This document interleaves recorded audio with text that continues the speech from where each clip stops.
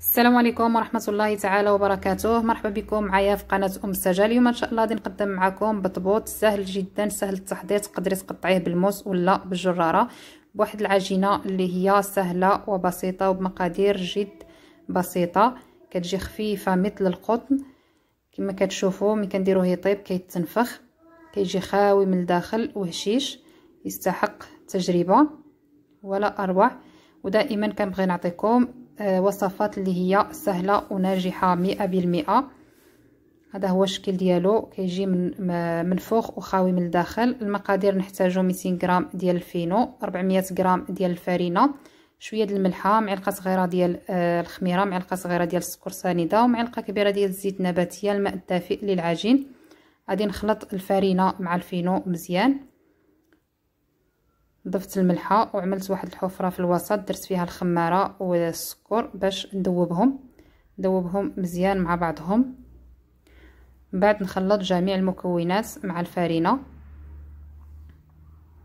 بهذه الطريقة. ونعجنها بالماء الدافئ. الماء يكون دافي ما يكونش سخون. هنايا المقادير ديال الفينو وديال الدقيق. بكأس العنبة يعني جوج كيسان ديال ديال الفينو وربعة الكيسان ديال الفرينه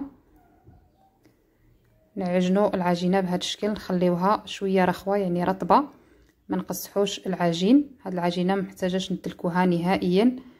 غير هكا نجمعوها ونخليوها رطبة.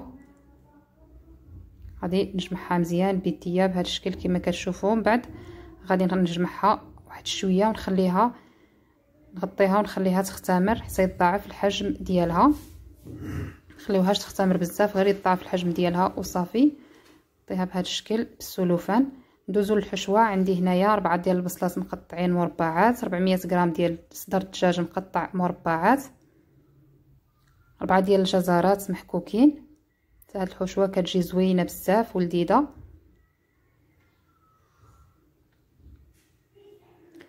غنضيف لهم الزيتون الأخضر حتى الأخير حتى يطيب عندي الحشوة. نضيف واحد المعلقة كبيرة ديال الزعتر واحد جوج معالق كبار ديال الزيت نباتية. واحد شوية ديال العطرية ديال الدجاج. شوية ديال الملحة. شوية ديال الابزار شوية ديال السكينجبير وشوية ديال التحميرة ونردهم يطيبوا على نار مهيلة. تيطيبوا على خاطرهم. عاد نضيف لهم الزيتون الأخضر. هنا العجينة من بعد ما اختمرت عندي. يعني غير يتضاعف الحجم ديالها ما نخليوهاش تختمر بزاف. غادي نفرخها من الهواء ونقطعها إلى جوج ديال القطع. غادي نرش واحد شوية ديال الفينو على سطح العمل. من بعد نقطعها إلى جوج دوائر.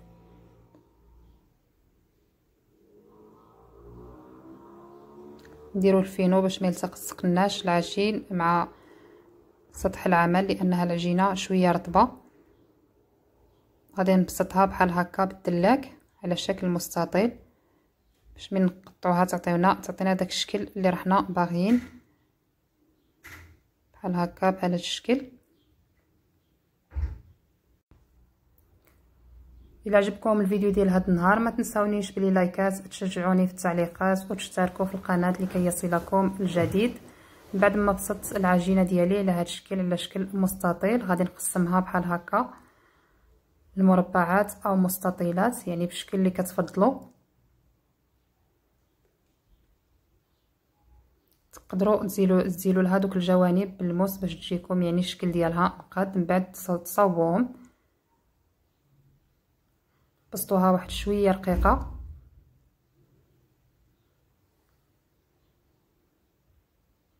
تقدروا تزيلوا هاد الجوانب. بغيتوش تزيلوهم ماشي مشكل تخليوهم.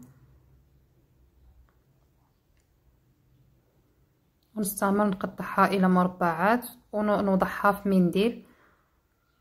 المنديل رشوه بواحد شوية ديال الفينو باش من تخمر ما تلتصق لكمش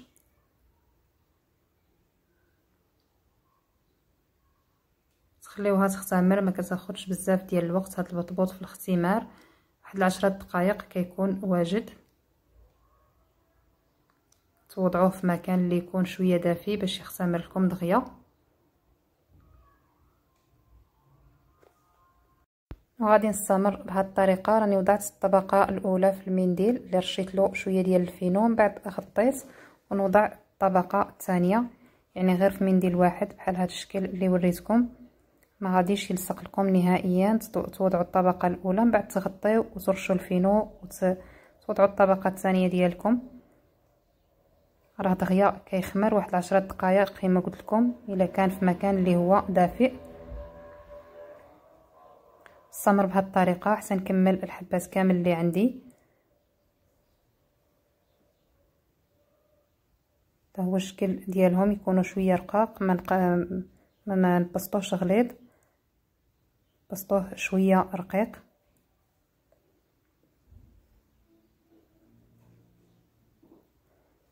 نخليه يختمر حتى يختمر واحد العشرة دقائق ومن بعد ندوز باش نوريكم كي كنديرو نطيبوه في مقلاة اللي سخنتها من قبل. كما كتشوفوا راني درت الحبات ديالي حتى تنفخوا من بعد نقلبهم نبقاو نقلبوهم باش يتحمروا حتى في الطياب راه ما كياخذش بزاف ديال الوقت. دغيا كيطيب وكيتنفخ وكيتحمر كما كتشوفوا كيجي لهذا الشكل منفوخ ومحمر. يعني راه ناجح مئة بالمئة إلا تبعتو جميع الخطوات. وبالعجينة اللي هي سهلة وبسيطة بمقادير اللي هي بسيطة بزاف. تحصلوا على بطبوط اللي هكا زوين وناجح. كيجي خفيف من الداخل ومحمر. وهشيش يستحق التجربة.